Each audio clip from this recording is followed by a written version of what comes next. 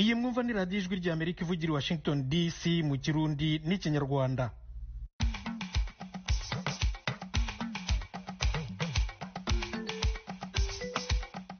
nshuti banywanye ndabashuhuje mwabonye butandukana. Mbahaye kandi ikaze kuri radiyo yanyu ijwi rya amerika. Muri kumwe na tomasi kamirindi mu rwanda turavugira kuri fm ijana na kane n'ibice bitatu. Mu karere ka kisoro muri uganda muradukurikira kuri fm mirongo inani n'umunani n'ibice icyenda ya radiyo ijwi riyobora. Naho mu burundi turi ku mirongo migufi metero makumyabiri n'eshanu metero mirongo itatu n'imwe na metero mirongo ine n'imwe. Nyuma y'itabaruka ry'umukuru w'igihugu cy'u Burundi Pierre Nkurunziza itegeko nshinga rivuga iki ku buyobozi bw'inzibacyuho? Umuntu araba amategeko yokurikizwa ategerezwa kuraba ibwirizwa rya bibiri na gatanu ryashizeho inzego zihari no munsi kuko ziheruka gutorwa ntizari bwashobore kujaho. Hama akaraba n'ibwirizwa rya bibiri na cumi n'umunani. Maître Janvier Bigirimana ni umuhanga mu by'amategeko. Mu Burundi nyine bamwe basa n'abacitse intege ku bandi ubuzima burakomeza. Hagati aho inama y'abaminisitiri yaraye imenyesheje ku mugaragaro urukiko rurengera iremezo ry'itegeko nshinga ko nta muntu uri mu mwanya w'umukuru w'igihugu birumvikana nyine nyuma y'itabaruka rya perezida nkuru nziza ni mu kanya mu makuru y'ibiyaga bigari abanzirizwa na yo hirya no hino ku isi nk'uko mubimenyereye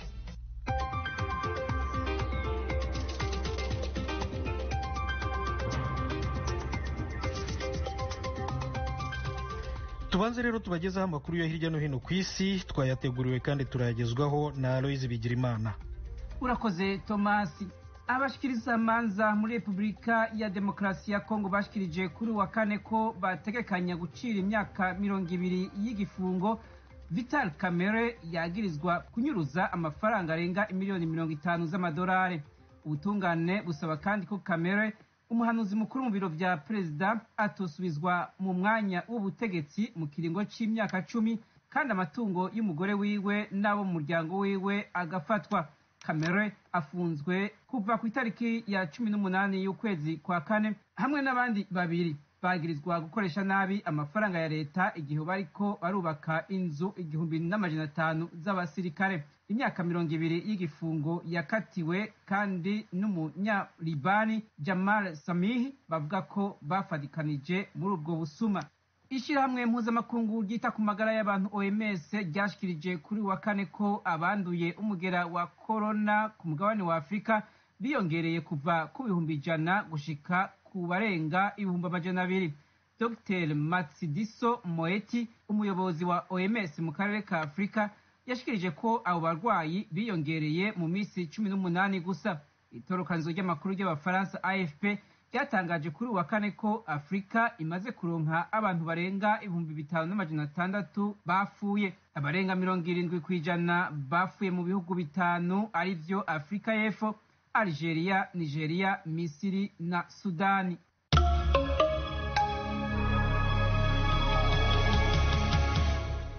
umushikiranganji wa mbere wa israeli benjamin netanyahu yashikirije kuri wa kane ko yakiriye neza ingingo yafashwe na perezida wa leta z'ubumwe za amerika donald trump ihana abategetsi ba cpi bagomba gutohoza ku basirikare ba amerika ku byaha byo mu ntambara boba barakoze muri afghanistani netanyahu avuga ko iyo sentare yinjijwe muri politike kandi higa gucafuza israeli na amerika hamwe n'ibindi bihugu byubahiriza agateka ka muntu.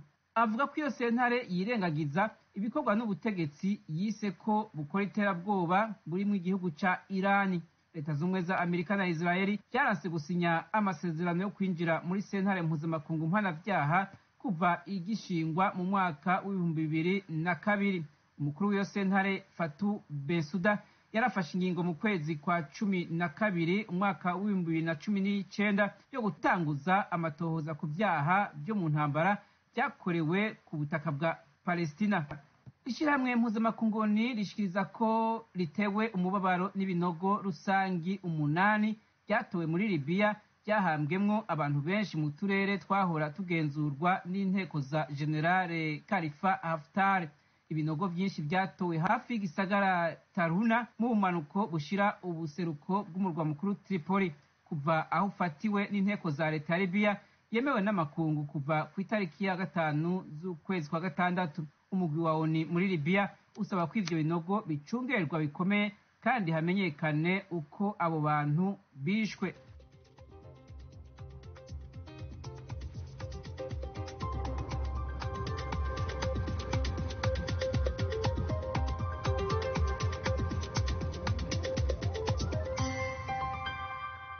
Aloyizi bigirimana urakoze kutugezaho ayo makuru yo hirya no hino ku isi. Inshuti zacu iyi ni radiyo ijwi rya amerika ivugira washington dc mu kirundi n'ikinyarwanda.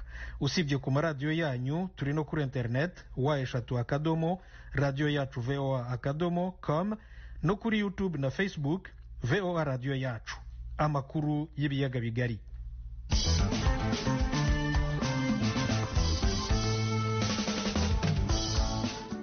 Mu burundi nyuma y'urupfu rwa perezida pierre nkurunziza ku wa mbere w'iki cyumweru hari abasa n'abahagaritse ibikorwa byabo muri iyi minsi abandi babona ko ubuzima bw'igihugu bugomba gukomeza.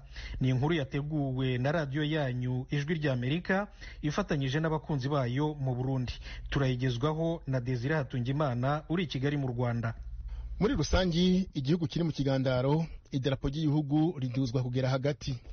Amakuru aca mu binyamakuru vya leta avuga ibijanye n'ikigandaro. Umwanya munini havuga indirimbo z'imana gusa.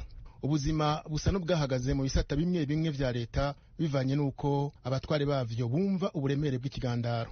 Nko muri kaminuza y'uburundi abayirongoye basavye guhagarika ibikorwa vyose bijanye no kwigisha hamwe no gutanga ibibazo. Ivyo bamwe mu bakozi bavuganye n'isoko ryacu babona ko hari ukwitiranya ibikorwa vy'igihugu n'ivy'umugambwe CNDD-FDD umuhisi yakomokamwo.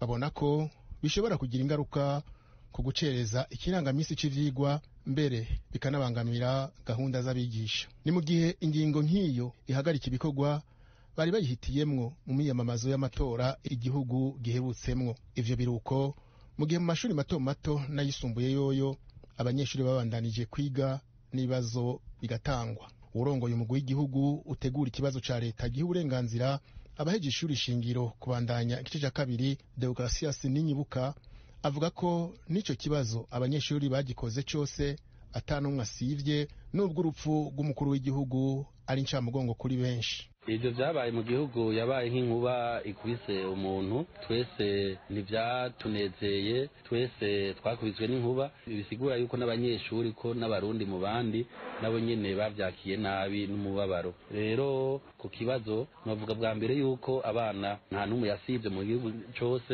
harabonetse akanya benshi kugira ngo bashyire imitima mu nda hanyuma babandanye ico kibazo gushika ubu ntaco mbona novuga yuko coba carahungabanije kino kibazo.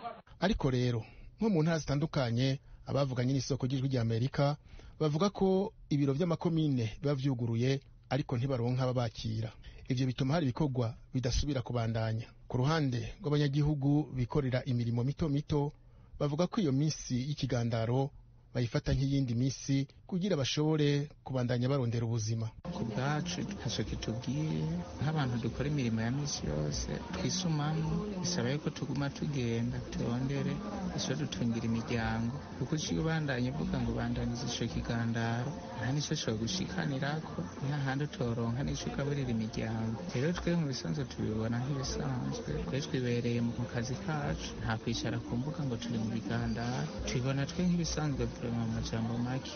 Kuva leta itangaje urupfu rwa perezida nkuru nziza abantu baciye batekerwa n'umubabaro ariko n'ubwoba bwabaye bwinshi cyane. Mu masaha ya cumi n'imwe y'umugoroba ubona amamodoka atanguye gutonda mu mabarabara y'igisagara cya bujumbura agana mu makaritsiye abantu babamwo. Umwe mu batashimye gutanga ijwi ku isoko ryacu avuga ko ubwoba afise bufatiye ku bimaze kwibonekeza k'ubwicanyi mu banyagihugu buca bukurikira. Iyo soko yacu itangaza kandi ko hari amakuru y'iterabwoba aca ku mbuga ngurukanabumenyi avuga ko uzoboneka asa n'uryohewe azofatwa. Ivyo bavuga muri ayo majambo ngo muce mutubwira aho aherereye tumukorereko. Ijwi rya amerika ryagerageje kumenya imvano n'ukuri kw'ayo majambo turabura uwuduha umuco. Ariko inama shikiranganji idasanzwe yakoranye kuri uyu wa kane yatanze umuco ku madidane ya bamwe n'abandi ku bijanye n'ikigandaro. Mu itangazo ryatanzwe ku bamenyeshamakuru yasabye ko ibikorwa vyobandanya nk'uko bisanzwe. Ikibujijwe ni imiziki mu bibanza vyo kwinezereza nko mu butambiro mu bunywero hamwe n'aharangurirwa ibikorwa bimwe bimwe bivuza imiziki. Ejo kuwa kane inama idasanzwe y'abaminisitiri y'u Burundi yarateranye yari iyobowe na visi perezida wa mbere wa repubulika gaston sindimwo yaganiriye na mugenzi wacu frederic nkundikije amubwira imyanzuro y'inama. Nk'uko musanzwe mubizi igihe umukuru w'igihugu asandavye inama y'abashikiranganji irakorana irongowe n'icegera c'umukuru w'igihugu hama n'abashikiranganji bose bari kumwe bagaca bandika ikete bandikira sentare yubahiriza ibwirizwa shingiro bamumenyesha yuko ikibanza c'umukuru w'igihugu atawukirimwo kubera yasandaje ico rero niwo mugirwa rero twagize uno munsi. Inyishu muyiteze nka ryari? Twebwe rumva twebwe turashikiriza sentare twebwe ntidutamika ijambo sentare nibaza ko sentare ikibibona izoca iduha inyishu. Ariko muri iki gihe n'ibihe n'ibihe bidasanzwe cyane rwose kuko nk'uko mubivuze igihe umukuru w'igihugu atahari sentare ijejwe ibwiriza shingiro ishobora gutegeka ko umukuru w'inama nshingamateka ashigwa muri ayo mabanga mu kurinda ko atunganya amatora. Ariko ikidasanzwe ni uko muri iki gihe hari umutegetsi w'umunyapolitiki yatowe ngo azorongora igihugu kuva mu kwezi k'umunani aho hazoba ari itariki mirongo ibiri. Ivyo bintu vyo vyo mwabivuze kwiki? Twebwe naco twabivuze ko kinininya kuko twebwe turi sentare twebwe twashikirije sentare ko umukuru w'igihugu atakiriho kubera yasandaje hama rero niyo sentare iza kuraba ibizokurikira iravye n'ibihe tugezemo. Twebwe nico twashikirije nta kindi. Muri iki gihe ibwirizwa shingiro rigenga uburundi n'irihe ni rishasha canke ni irya kera? Ubwa mbere twokubwira yuko twafashe ingingo y'ijana na mirongo ibiri na rimwe y'ibwirizwa shingiro rishasha mugabo urasanzwe uzi ko hari ibwirizwa twahorana muri ico bita ingingo mperekeza canke disposition transitoire ingingo y'amajana abiri na mirongo umunani n'umunani kuko uno munsi uvuze ngo icegera c'umukuru w'igihugu kandi uno munsi dufise ivyegera vy'umukuru w'igihugu bibiri nico gituma tuca tuja muri iyo ngingo y'amajana abiri na mirongo umunani n'umunani aho ivuga icegera ca mbere n'icegera ca kabiri bafatanije hamwe na leta yose bakagira urwandiko bari kumwe. Ibyo rero ni byo twakoze twisunze ayo mategeko agenga ibwirizwa shingiro ry'uburundi muri iki gihe umuntu ajejwe igihugu c'uburundi muri iki gihe ni nkande?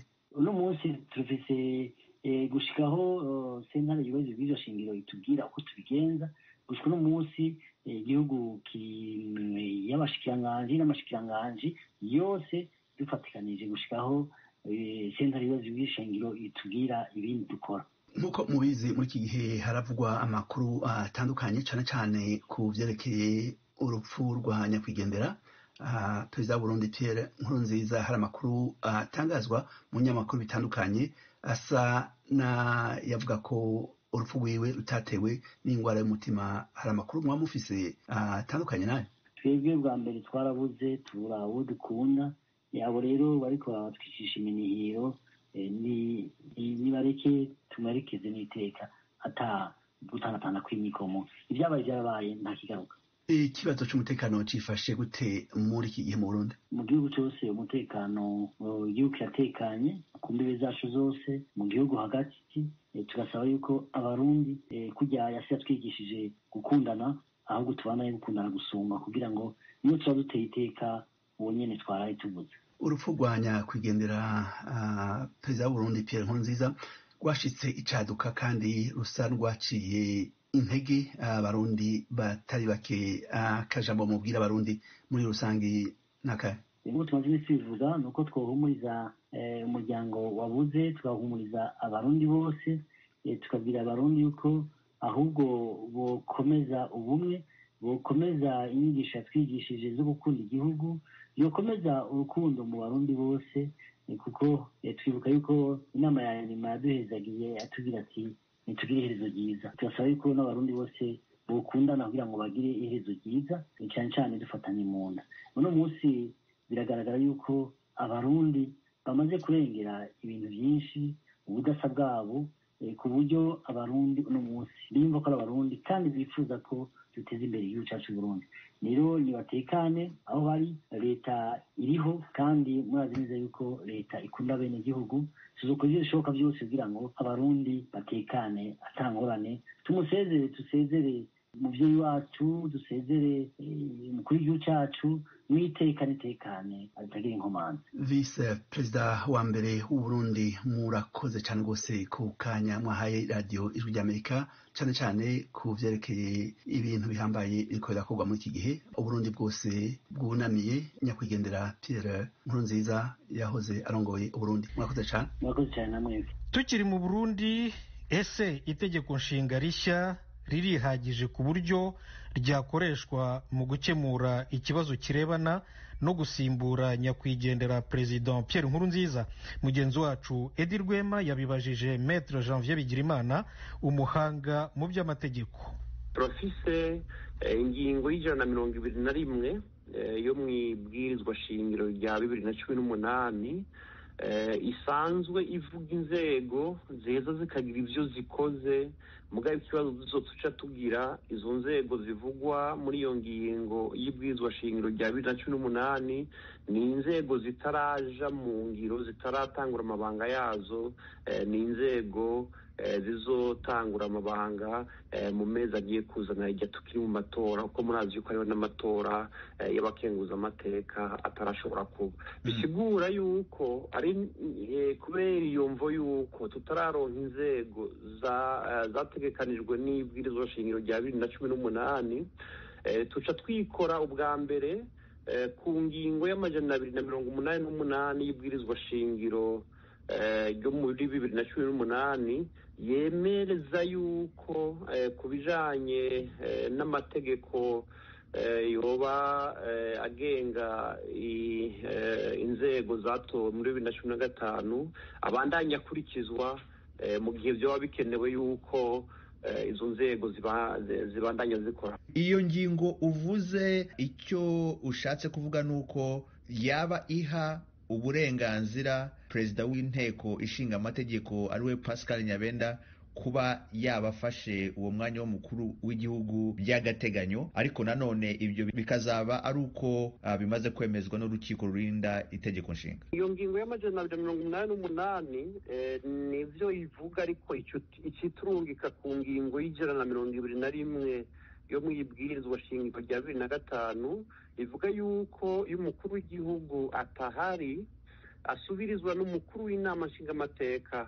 Ni kuvuga muri iki gihe cya pascal nyabenda. Ariko hatangura kubaho ibyegera bibiri by'umukuru w'igihugu bisanzwe bihari uno munsi byifatikanije na leta biraheza bikandika sentare yubahiriza ibwirizwa shingiro kugira ngo yemeze ko umukuru w'igihugu atakiriho hama yongera ikigena umukuru w'inama nshingamateka kugira asubire umukuru w'igihugu yitabye imana. Kuri icyo rero kiratomokanijwe ikintu nagomba gusigura kindi gihambaye? Hari abantu nabonye bariko baribaza ku mbuga ngurukanabumenyi bibaza biyumvira yuko bidakenewe yuko hojaho umuperezida w'imfatakibanza arangiza ikiringo cyari gisigaye ngo kuko ngo byaba agiye gukora ngo ni gutegura amatora y'umusubira kandi uwo nawe yaratowe. Icyo ni kimwe mu byo atezwa gukora ubundi umukuru w'igihugu ibyo akora si ibyo byo gutegura amatora yo gusubiriza uba yapfuye arabandanya akora ayandi mabanga yose. Umukuru w'igihugu yatezwa gukora ikintu cyonyine atarekuriwe ni guhindura guverinoma.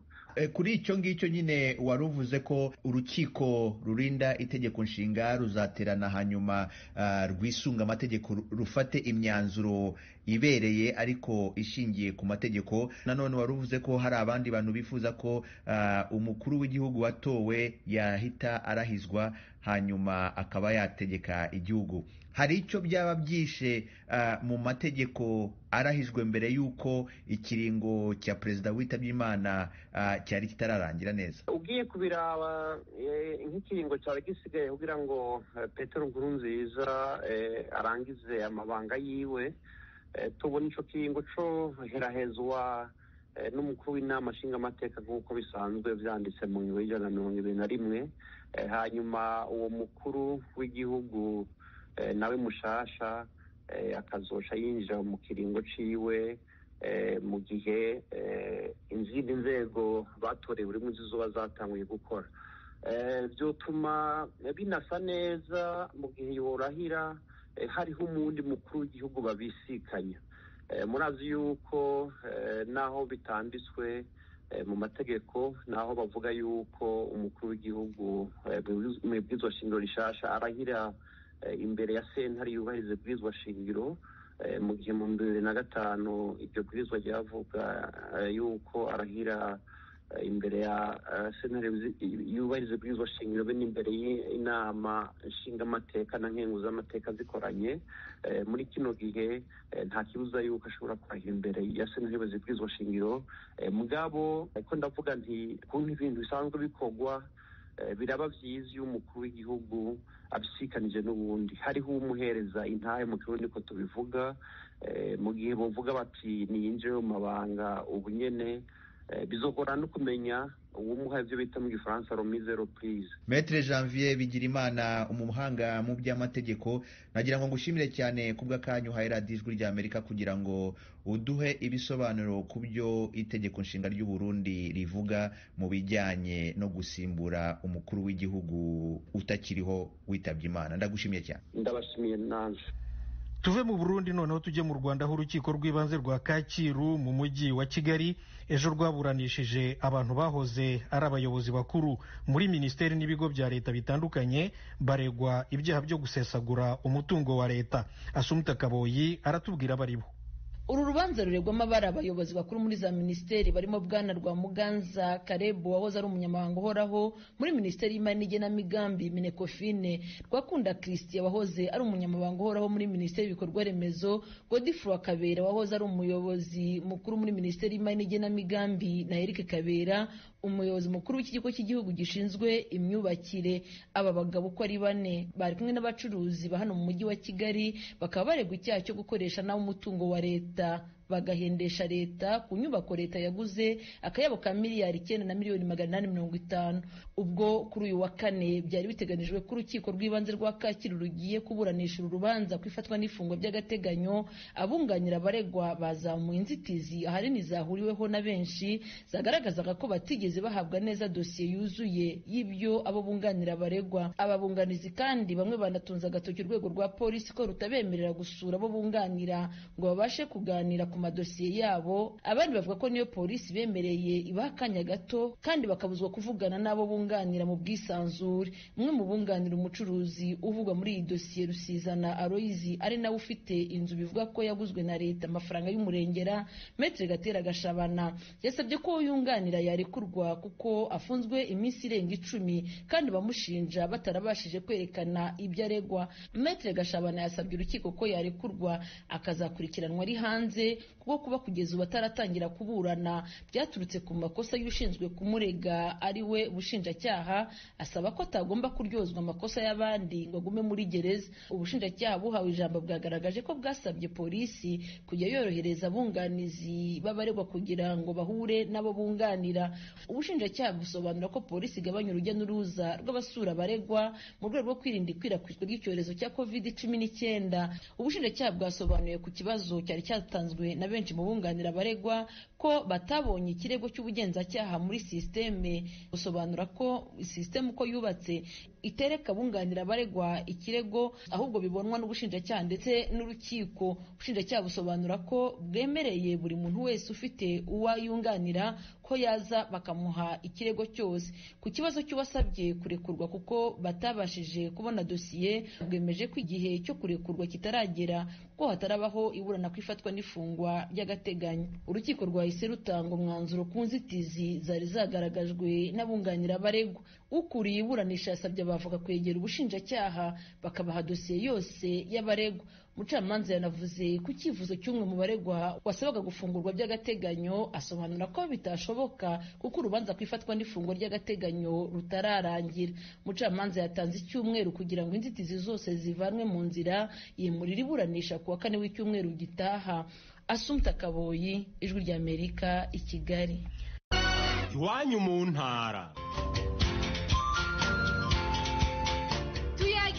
Tuyagire mwisanzuye ku ijwi rya amerika. Ni kuva ku wa mbere gushika ku wa gatanu kuva isaha indwi gushika isaha indwi n'igice z'umutaga. Iwanyu mu ntara iwanyu mu ntara iwanyu mu ntara.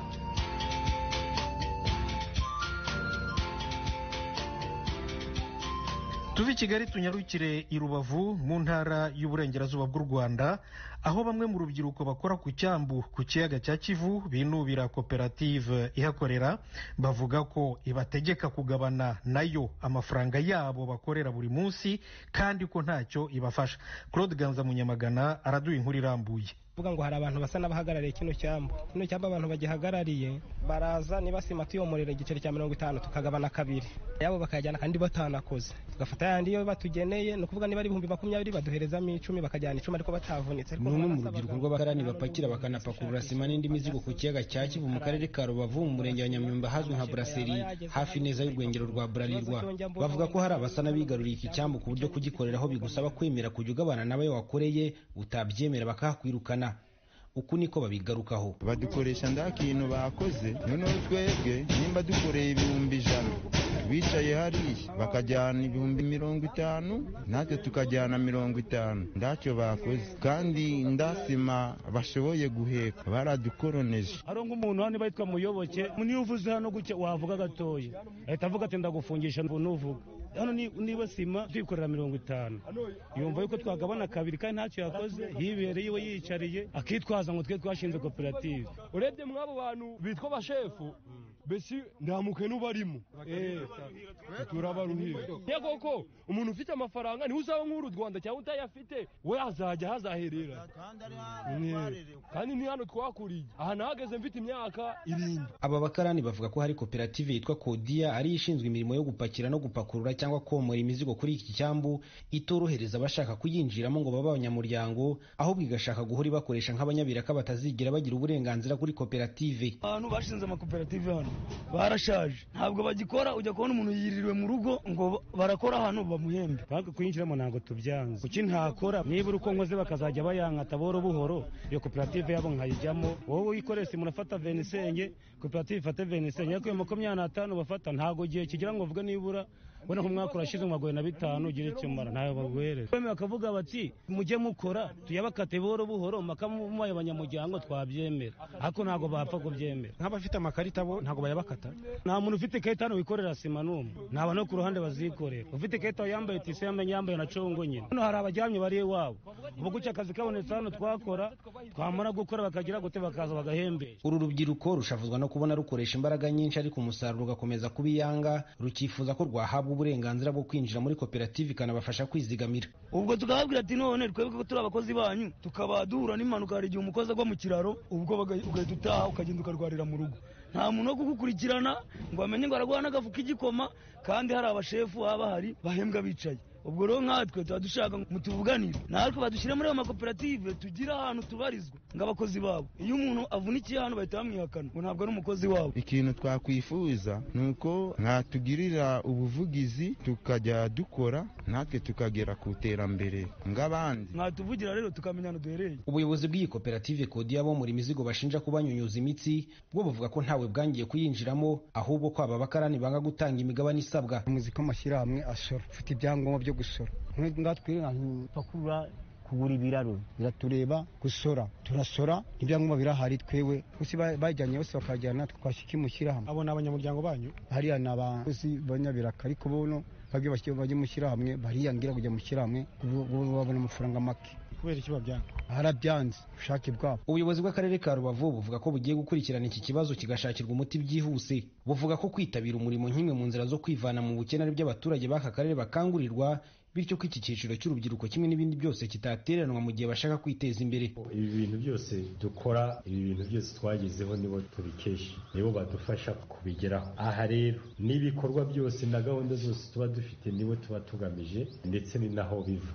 Claude ganza munyamagana mu burengerazuba bw'u rwanda ku bwa radiyo ijwi ry'amerika radiyo ijwi ry'amerika ivugira washington dc mu kirundi n'ikinyarwanda. Inshuti banywanyi naha aya makuru yo muri aka kanya ahumurije twayabateguriye kandi tuyabagezaho na bagenzi banjye bose dukorana hano i washington dc turi iwacu buri wese mu rugo iwe mu rwego rwo kwirinda icyorezo cya virusi ya korona mugire umunsi mwiza namwe mwirinda iki cyorezo kandi murakarama.